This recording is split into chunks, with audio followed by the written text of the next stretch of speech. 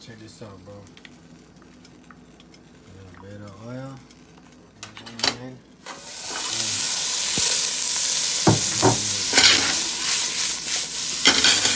Fry up. Let that shit fry up, bro.